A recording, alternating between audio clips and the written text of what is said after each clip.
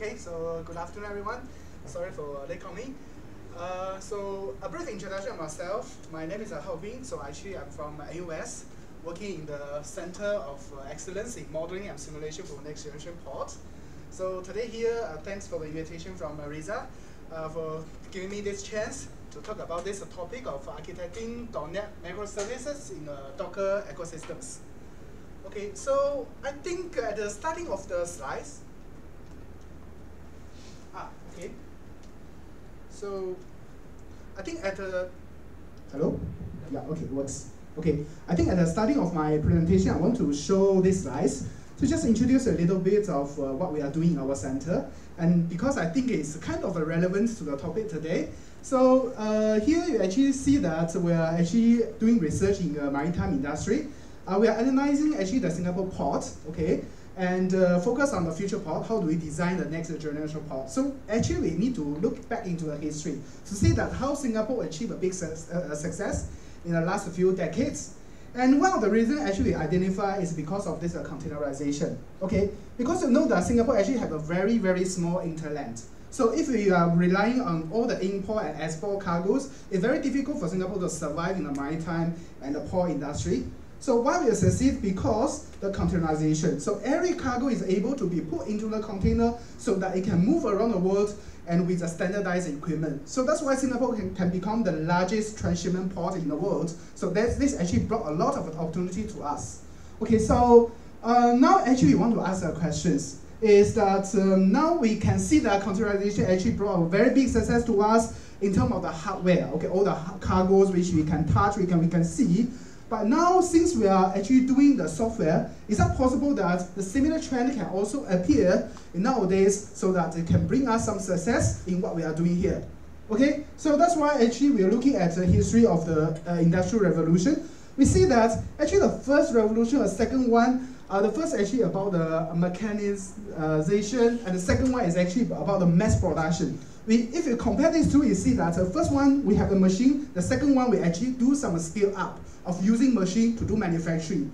Then because of the containerization, we're able to move the cargoes around the world, which actually enable us to scale up our manufacturing. So that's why we can succeed.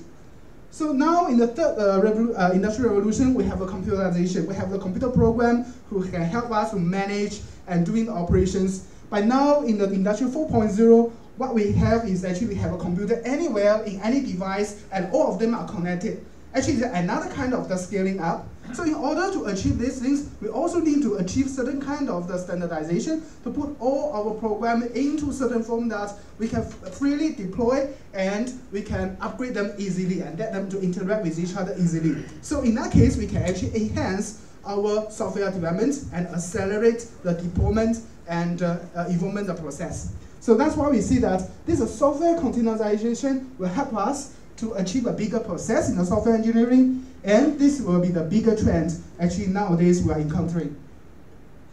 Okay, so uh, the first things uh, I just want to briefly introduce about my understanding of how this uh, containerization can be achieved. Okay, so if you see this uh, kind of the uh, architecture, uh, this one we actually call the monolithic application scaling approach. So what it means is when we come up with certain like uh, software, some applications, if we without any containerization concept, this is what we have. We have a different part component of the software, probably in the different layers. We have a front end, business logic, we have the data storage. So what we do is we actually put them together, then we call this one application. So when we need to deploy this application in a certain scale, so what we do is we actually deploy the whole application as a whole unit, a rigid unit, into different machines. Then we let them to run on cloud or any like machines so that it can help us to, to process our business in the larger scale. Okay, so this is uh, the usual way, the old ways, what we are doing. Um, so if you like uh, compare to the maritime industry I was researching on, you can see that this is just kind of like a, a vessels. So if you are transship some cargo like a cement, you need to get a cement vessel. If you are transship like uh, oil, you need to get a tanker, something like that. If you want to like uh, two units of the amount of the, the, the, the oil, then you need to get the two vessels. So as simple as that. But the thing is, it's very difficult to use a, like a tanker to transship other cargo like a vessel or the other like a steel products. Okay, so that's why we need to achieve kind of the containerization. Then if you look into the software engineering perspective, we can see that uh, in all the different modules, uh, the, the components we have, if nowadays we want to upgrade, or if we find some problems with certain of the component, or even that we just want to scale up a certain part of the program, then you can see that it's not difficult, uh, it's not easier because we need to go into this app, we need to build this app, then we need to test it again, then we deploy these things as a whole to the different machines one more times. Okay, so actually this uh, create a lot of uh, troubles and also it delays the, the, the process of the software development and the deployment. Okay, so that's why we come up with this uh, concept of the microservice. So what we are doing here is still we have the app 1, app 2, um, uh, app 2, okay, then for each app, we actually still got those layers. We have like a front end, we have a business logic, we also have the storage handling. Okay, but what we can do is, instead of put them into a one like a rigid app, so what we are building here is we make each individual as a microservice. Okay, then for the deployment process, we're not actually build, uh, deploy this app as a whole, but actually we look into the individual microservice. We're able to put all the individual microservice on different machines. Okay, then in that case, we can achieve certain things. Okay, we can have a scalability, we can have a uh, agility, we also have a reliability. So what does this mean? First, a scalability. So for example, now we have an app, okay? Then we actually encountered, we found a problem that the front end, maybe the, the, the like a web, uh, like a web service or the web calls, uh, the traffic flow is too heavy. So in that case, actually we do not have any problem with the business logic. We do not have any problem with the, maybe the database. The only thing is we need to enhance, improve the handling of the, of the web service. So in that case, we just need to go into one part of the service, right? We just uh, put uh, more instance for this microservice. We find more machines to deploy more this uh, red dot.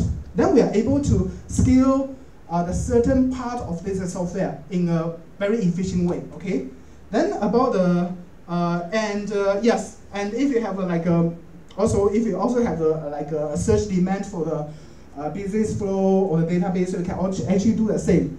Then this agility, based on what I, I understood, is that uh, you can actually reflect this uh, um, re response to the to a change very fast. Okay, you don't need to like stop the whole service, then restart the whole service again, but rather you just by adding a single uh, microservice, you can actually increase the capacities in certain areas, certain layers of the of the web, uh, of the of the applications, and also re re reliability. Okay, so what does this mean is that um, for example, if it goes to the previous way, okay, if it found that some machine actually got some problem which is the fail down, then you can see that the whole application actually is down. But for this case, what we can do is that we can have a different, uh, the same functions of the uh, microservice deployed on different machines. Even those machines can be uh, can be uh, deployed at different places, can be a different OS. So in that sense, that just in case one of the machine fails down, the microservice deployed on the other machines can still keep working. So in that case, you will not see the down of the whole uh, applications. So actually that brings the reliability to the, to the whole, uh, whole applications uh, which we are, we are having here. Okay, so um, then the next thing is we want to try to do a comparison between the microservice concept and also this uh, the old uh, monolithic uh, concept. So let's just talk about the benefit first. So the first benefit we can summarize is the microservice is actually very small. So each microservice we can make it small so that it's easy for us to manage and involve it, involve the microservice itself. Okay, the second thing is um, because each of them actually work individually, okay, so actually does not depend on the other parts of the of the of the whole applications. So each one of themselves actually have these independencies. This is also something good we want to we want to achieve, and uh, scale out. Okay, so as we just mentioned, each microservice itself can actually be scaled out to just enhance one part of the applications, uh, targeting exactly to what uh, the, the part we want. Okay, then the first one is actually is, uh, because with the independent work independently, it actually isolate from the other uh, part of the software. So if there's any other issues triggered by other part, it won't affect this uh, microservice itself. And uh, the fifth one, also the most important, because of all the features mentioned above, you can actually adopt to the latest technologies. Because you see that when we involve certain technologies, we either involve in like, for example, the front end, or the database, or the logic flows. So, uh, I mean, if you build everything as a whole application, it will be very difficult for you to improve one part of it because you need to do an integrated test, you need to make sure the whole apps works uh, before you can do the involvement in the, the new de deployment. But here, because each microservice is uh, deployed independently, so we just need to keep uh, upgrade the one microservice and deploy it. Then we actually can foresee that they can work well with the other part of the applications immediately. Okay, so that's why actually it's uh, accelerate uh, the technology adoption. But also it got some like drawbacks. Okay, the first one is because we need to partition the whole applications to the smaller part. So this is actually not uh, an easy task to do. Uh, actually, based on my uh, own experience, now we are doing the modeling, simulation and modeling for the Singapore port, the container port. So actually, you can see the operation is very complicated. One of the methodology we adopt is we decompose the whole port into the smaller part. Then how to cut the, the whole system into a smaller part, how to determine the hierarchy, how to define the interface between different modules. So actually it's very difficult. So actually for here, the microservice, uh, if you want to adopt it, we actually foresee the same problems will, will need to be solved. The second one is actually about the communications. So if all the components are built within a single app, a single like executables, then it's very easy to handle the communication among them. But if you want to deploy each of the parts at a different place of the world, different machines, then you need to take care of the communication, whether they have any like latencies or complexities will trigger by, by these things. Okay, so this will be very um, um, difficult, complex problem to need to consider. And uh, also, the third one, similarly, because the interactions, okay, most of the case might not be atomic, meaning that to achieve a complete one of the transactions, you need to multiple, uh, no, one function, you need to have a multiple transactions. Then you need to make sure that um, during this uh, period of the time of the multiple transaction, okay, the data within the two parties, the two microservices are actually consistent, okay? Otherwise, uh, there will be some issues will be triggered. Okay, so this is the uh, challenge we will face. The first one is, just now we mentioned, because each microservice is small, so within this the microservice, the maintain, uh, development, and uh, management is very easy. But now the problem is we have many, many microservices like this. Then to manage them as a group will become a complexity. Okay, so this is another problem we need to take care. And the fifth one is um, about the communication protocols. Okay, because the microservices need to talk to each other, and also the microservices need to be called by the client. Okay, so whenever we upgrade certain microservices, if we do not change the interface, the protocols, it should be fine. But most of the cases we can find that we need to change the interface. We need to change the way it interact with the others. Ah, then it will actually bring some difficulties at the system level. So this is also another things we need to take care. Okay, then we continue to the, sorry. Yeah. Then the next question is, what exactly is this a container? Okay, what exactly is this a containerization in a perspective of the software? Uh, actually, here is a, I just show one of the image of a container, but actually a container image means a differently. Okay, so we need to have this a three part of information put in. The first one is application itself, all the logic, uh, how you handle the, the, the, program. You need to put into this container. But more than that, we still need the two part of information. One is actually all the dependencies of, uh, of this app. Okay, you need to put in and put in them into a version set. Then the second one is actually additional information is actually the environment configuration. Uh, in the form of these uh, deployment manifest files. We also need to include it into this uh, container so that this container can be isolated, resource controlled, and portable. So this property you can actually see is quite similar as those physical container we are handling in the port of Singapore.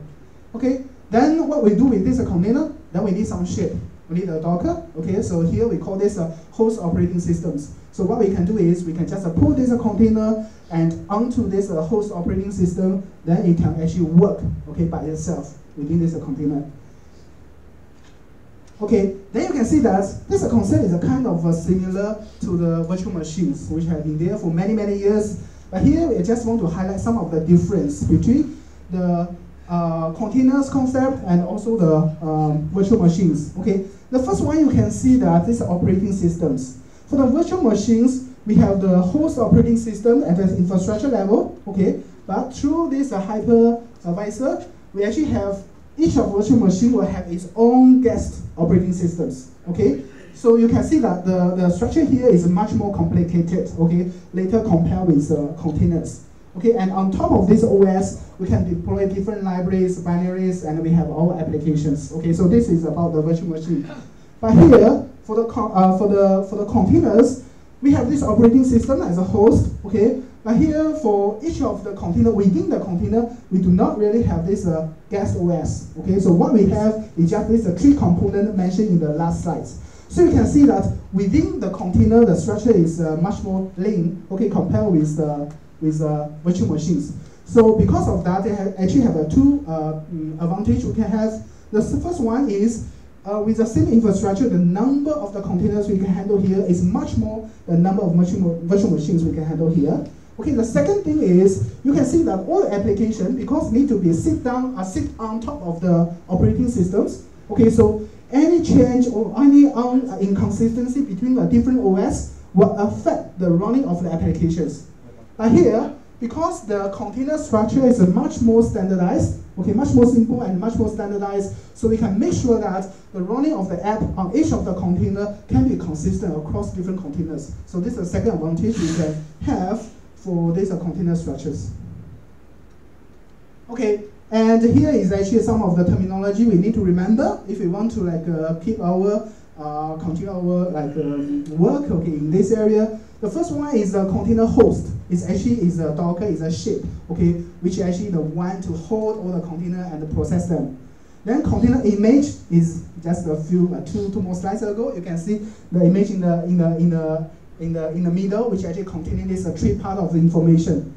Then usually when we call container, it's actually a runtime instance of this image. So the image won't change, okay, in the in the running in the program running, but what is running is actually the properties within the container, the running time, uh, runtime instance.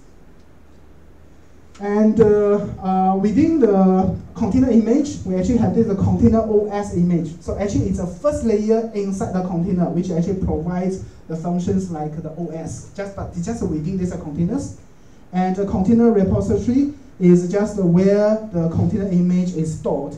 So we can have a local repository. We can also have a public or private registry to uh, to record uh, all the all the container image created.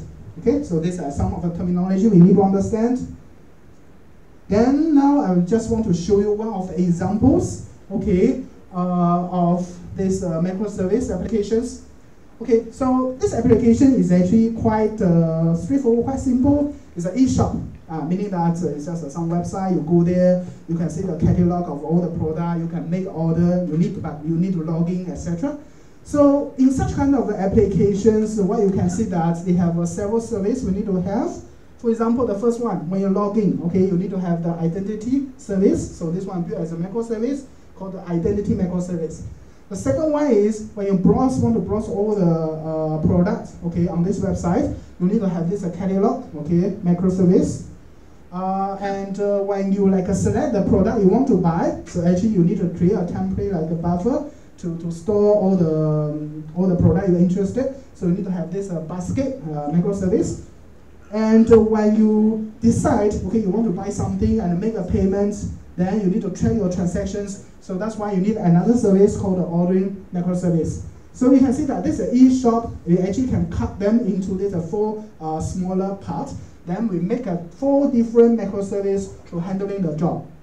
Then you can see that inside each of the microservice, they can actually have a different layer. They have a front-end layer, they have a logic layer, they also have the database layer, okay, for each of the web service. Okay, then what we need to do is we need to build some mechanism to let them to talk to each other and also talk to the client. So the next thing what we are going to do is we need to define a way how the application, the client, is talking to the different web services. Okay, so now you can see that you can talk to uh, this one. Okay, if you just remember the color, you need to like a login. You need to use this web service. And if you are going to like uh, browse all the product, you need to do the catalog okay, web services, and also this one is for what? This one is uh, yeah ordering. Okay, so this for the ordering. Then you need to talk to to this one. What is selected? Basket. Okay, now I'm not quite sure whether the basket is not there. Okay, but anyway, it's just a demo to show you that you need to consider the client to microservice communication.